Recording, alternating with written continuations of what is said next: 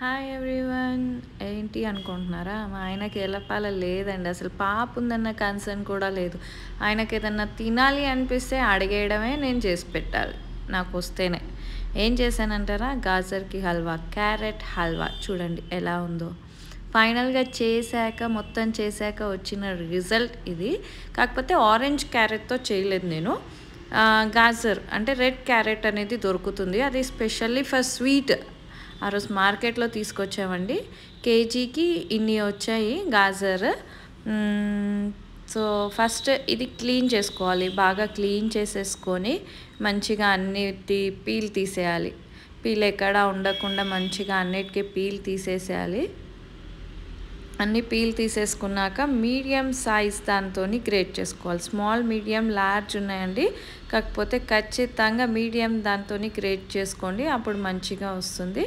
మొత్తానికి ఇలా గ్రేట్ చేసేసుకున్నా గ్రేట్ చేసేసుకున్నాక వన్ కేజీ ఆఫ్ దానికి ఇంత క్వాంటిటీ వచ్చిందండి. ఏమేమి యూస్ చేసామనేది పాలు కోవా జీడిపప్పు అండ్ నెయ్యి. వీటితో చేసామండి. షుగర్ లేదా అనకండి. షుగర్ కూడా స్వీట్ అంటేనే షుగర్ అండి. సో షుగర్ కూడా యూస్ చేశాను. కాకపోతే షుగర్ తక్కువ యూస్ చేశాను వన్ కప్. ఎందుకంటే మేము ఎక్కువ షుగర్ తినమండి స్వీట్స్లో. చాలా తక్కువే యూస్ చేశాను. కోవా అక్కడ మీకు కనిపించే దాంట్లో పావు కిలో ఉంది. కానీ అంత యూస్ చేయలేదండి. అందులో హాఫే యూస్ చేసాము ఇలాచి. ఇలాచీ వచ్చేసి అది ఆప్షనల్ అండి. ఎవరి ఇష్టం ఫ్లేవర్ నచ్చుతుంది అన్న వాళ్ళు వేసుకోవచ్చు.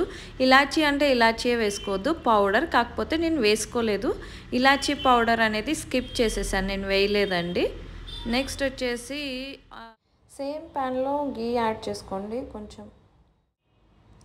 యాడ్ చేసుకున్న గీలో క్యాష్యూ వేయండి. లైట్ బ్రౌన్ కలర్ వచ్చే వరకు దాన్ని ఫ్రై చేసుకోండి.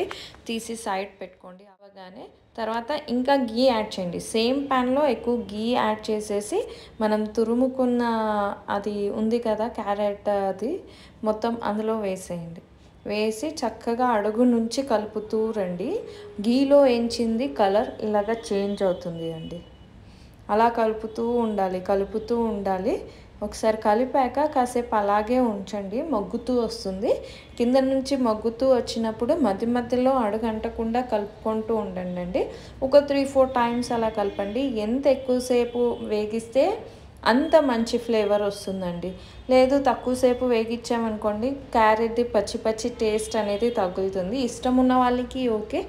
లేదు అలాగా తినని వాళ్ళు మాత్రం బాగా వేయించుకోవాలండి ఖచ్చితంగా. మధ్య మధ్యలో కలుపుతూ ఉండండి. అడుగు అంటనివ్వకుండా చూడండి. సిమ్లో పెట్టి చేసుకుంటే బాగా మగ్గుతుందండి. క్యాప్ అయితే పెట్టద్దు. ఎందుకంటే ఇంకా వాటర్ వస్తుంది. క్యాప్ పెడితే దాని నుంచి సో ఎక్కువ మగ్ మగ్గడానికి ఇంకా ప్రాబ్లం అవుతుంది. హాఫ్ అయ్యే వరకు చేసుకో తర్వాత పాలు పోయండి. ఒక హాఫ్ క్వాంటిటీ అయినాక పాలు పోసి హాఫ్ లీటర్ పాలు తీసుకున్నానండి. వన్ కేజీ క్యారెట్కి నేను హాఫ్ లీటర్ పాలు బాగా మరిగించిన పాలు వేసానండి మొత్తం వేసి బాగా కలిపాను పైనుంచి మొత్తం కింద నుంచి అంతా కలిపి.